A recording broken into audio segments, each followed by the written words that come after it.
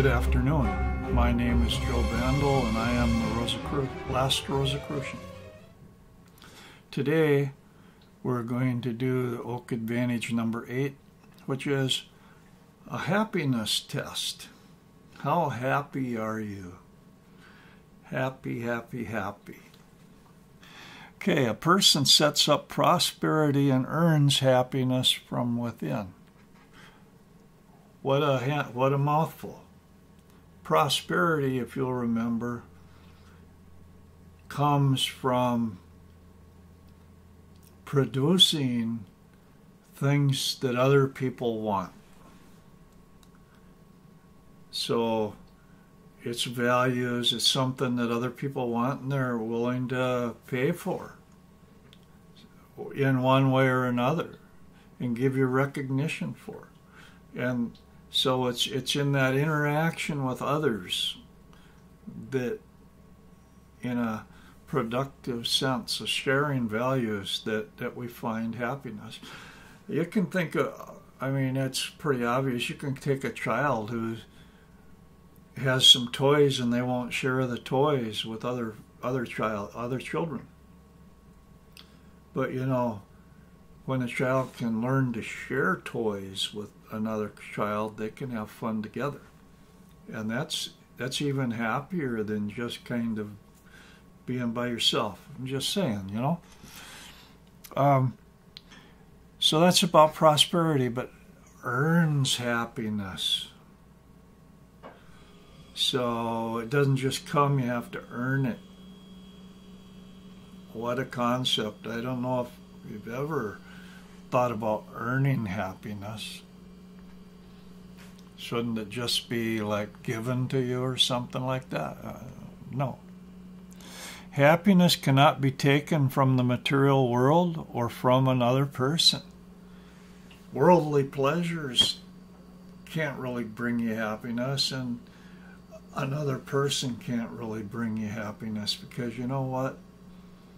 You're stuck with yourself. You got to learn to love yourself. You have to like yourself. If you can't do that, it, it won't work. That's why self esteem and following that still small voice of conscience is so powerful and so necessary. Because if you can't forgive yourself, it doesn't matter if other people can forgive you. You know, you, you gotta you gotta love yourself.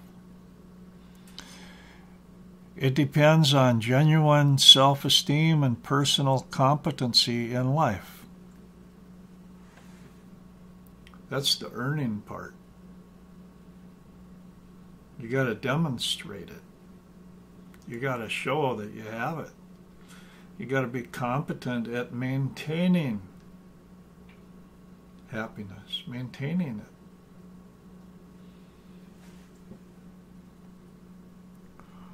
It's a deeply personal inner matter.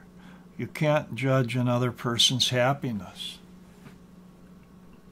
You might think some person's a real crab because when you interact them or you see them, you're you're perceiving things that may or may not be true. How many people do you know that are the life of the party? Hey, I used to be the class clown when I was in high school. I used to be the class clown, and you know why I was the class clown? I craved attention, I wanted it. It was because I felt so insecure in myself. In other words, outwardly I was just a barrel of laughs, and inwardly I was crying. I think that happens to a lot of people.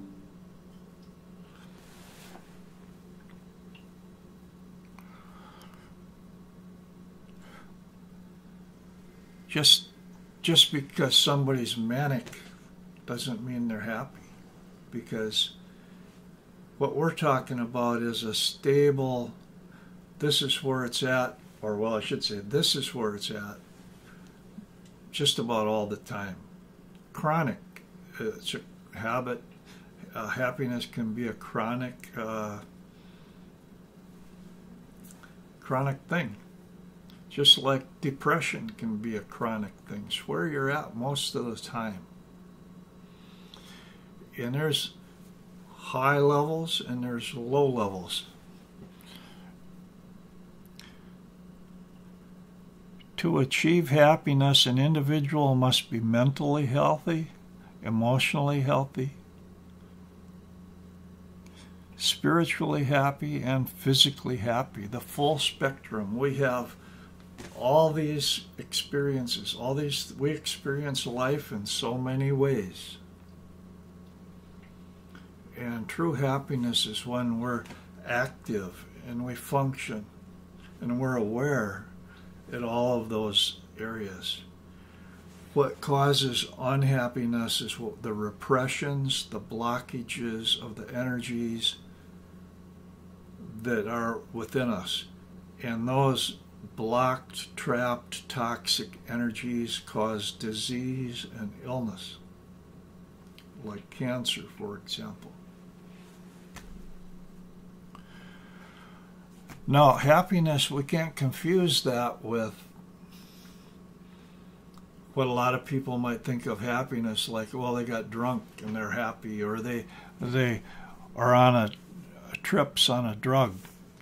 Uh, this is a false sense of happiness, such as profit by fraud. You cheat somebody and you get what you thought you wanted. Is that happy? We're not calling happiness that way. Victory by force, beating somebody up, forcing them to cave in. Is that going to make you happy? Is that a true type of happiness? That's not the type of happiness we're talking about. Success by deceit. You cheated somebody. You got the better of a bargain. You falsely represented yourself. No that that's not what we're talking about happiness. Uh, again, pleasure by drugs. Now, there's a book here that's pretty fascinating. It's by L. Ron Hubbard, The Science of Survival, and you can see another thick book. I love thick books. That is a fascinating read. And tucked in the back of it, they have a chart. It says the chart of human, well, it's a tone scale. And I'm just briefly going to measure, go down a few, go down a few lines just to give you an idea of what L. Ron Hubbard had to say about how you can where you're at most of the time determines how healthy you are on the full spectrum of behavior. Because what this chart does is it shows several different areas in life and it compares how a person would act at a highly healthy level and down, down, down to a deeply troubled level. And of course, this they use this chart to determine uh, how much Dianetics processing people need, could need, or whatever like that. It's kind of a, like a guide that they look at, but it's a tone scale. And when you talk about a test of happiness, it kind of fits in with what we're this topic I'm trying to say so I'm just going to kind of bring it up, uh, just for fun. We're going to look at it. In the area of emotions, you have, and we're going from the top down and see where do you fit in for most of the day, for most of the time. Exhilaration, eagerness, strong interest, mild interest, contempt, indifference, boredom, expressed resentment, uh, crabby, anger, unexpressed resentment, fear. Oh boy. Is this, uh, is, do we have fear within our society about certain little germs or viruses that might be going around. That's not at a very uh, high spot. Below fear, grief, apathy, the deepest apathy. You just don't care. That's, you know, like the clinically depressed person. So, where do you fit on there? Let's go to another one affinity. Uh, how you get along with other people, basically. Love, strong, outgoing, tentative advances, friendliness. You're out there a little bit. Tolerance without much outgoing action, acceptance of advances that are offered. Uh, you're not taking a risk, really, but you know, you're open to people coming up to you. Neglect of person or people, withdrawal from people. Boy, kind of I kind of that kind of I'm a hermit. I'm kind of withdrawing from people, so that means, according to this chart, I'm could be doing a lot better, maybe. But I would rather be around healthy people than, and I don't think there's too many there. Antagonism. That's antisocial. Hate, violent, and expressed expressed it. Uh, covert hostility. What's covert hostility? Covert hostility is where stab them in the back type of thing, you know. Outwardly, you're like buddy buddies, and inwardly, you're trying to give them the shaft. Acute shyness, propitiation, withdrawal from people as a young, as a child and a teenager and stuff, I was just horribly shy, ter- terribly shy. Uh, so uh, I was deeply troubled. I, I, was at the low, low end of this, definitely. Uh, below that, supplication, pleas for pity. Sounds like uh, Zelensky almost over to Ukraine there complete withdrawal from person or people. So I showed you on that, or I shared, you know, I, I was pretty darn low there uh, uh, when I when I was young. When I, when I was young, I had a very weak self-esteem. That's because uh, I had a very domineer, domineering father that uh, seemed like I could never do right. Anyway, that's neither here nor there, and that doesn't represent where I'm at today. Today, on that scale, where would I be at? Uh,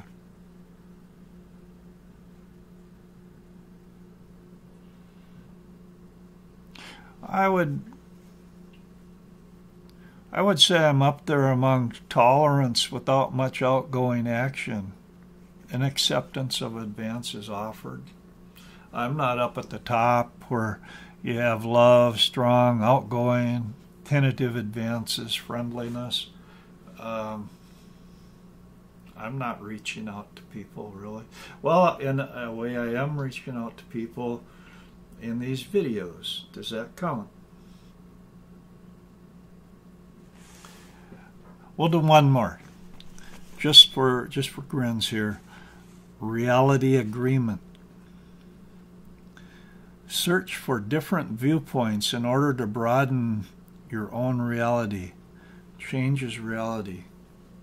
Hey, I'm there. I'm there because that's what I do. I'm looking for different viewpoints.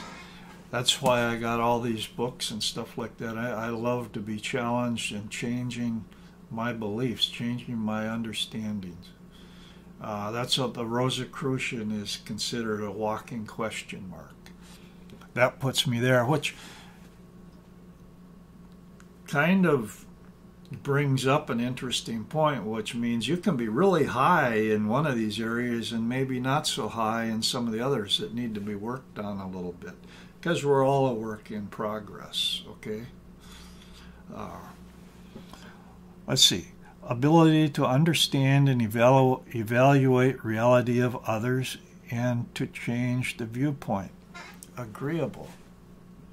Again, uh, I can usually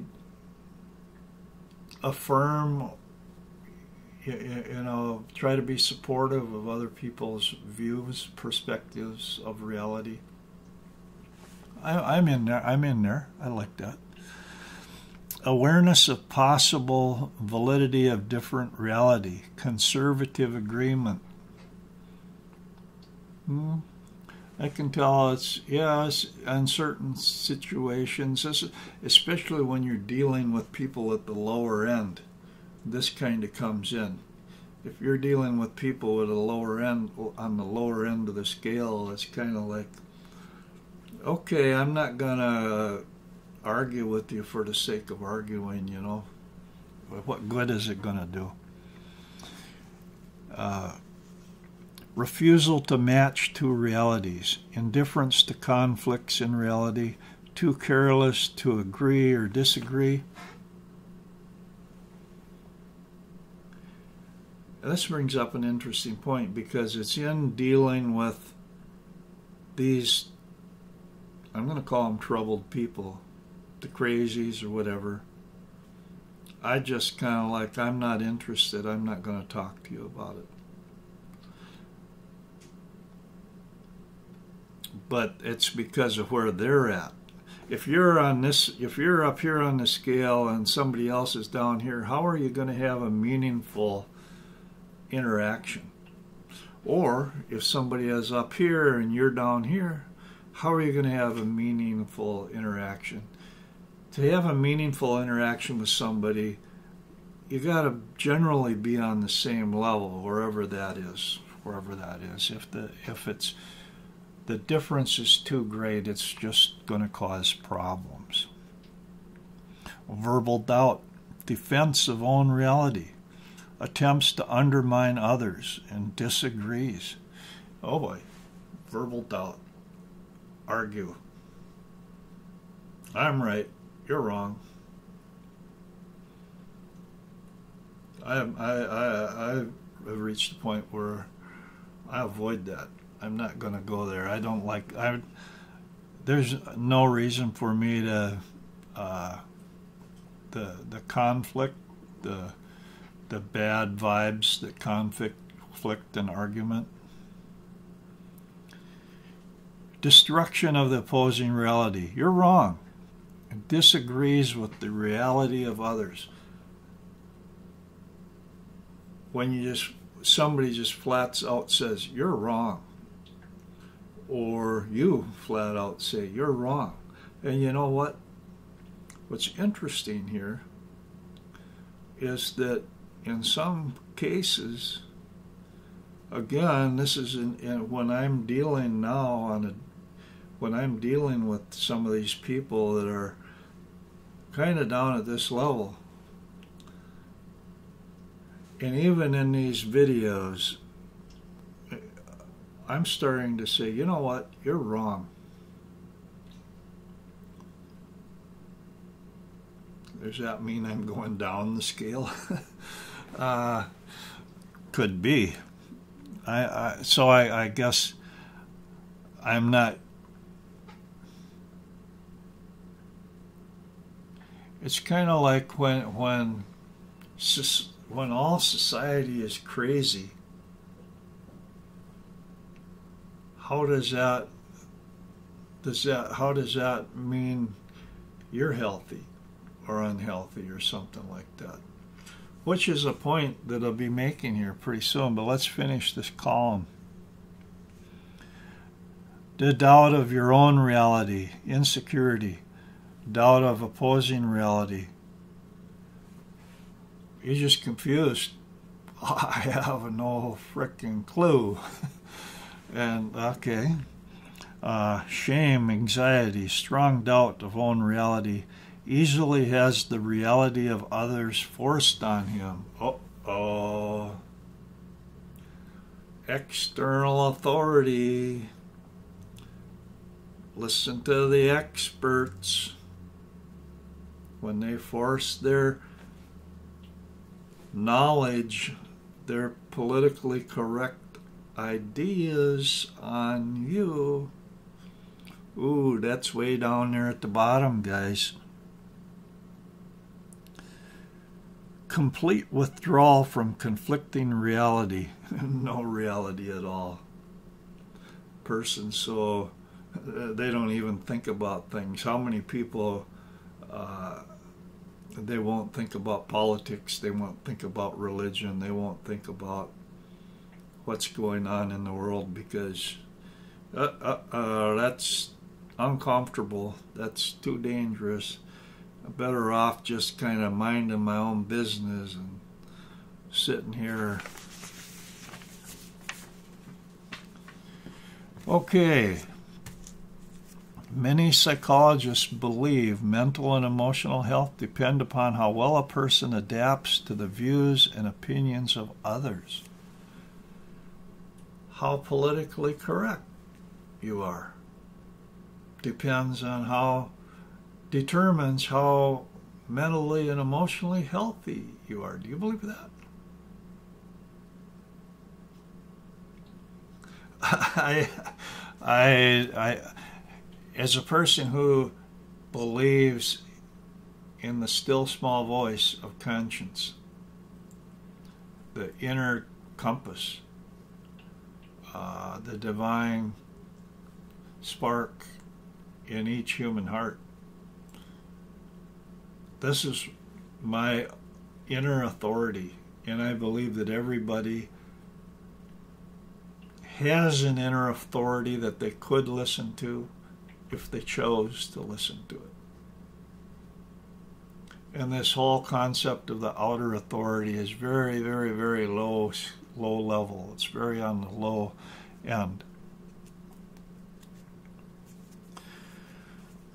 that belief that mental and emotional health depends on a person's ability to be politically correct. That belief places conformity as the standard. Instead, mental and emotional health depends upon loyalty to honesty and to the still small voice of our conscience. That's what I just said in another way. I kind of got ahead of myself there. If you are lying to yourself, you can never be truly happy. You got to be honest to yourself, not lying to yourself.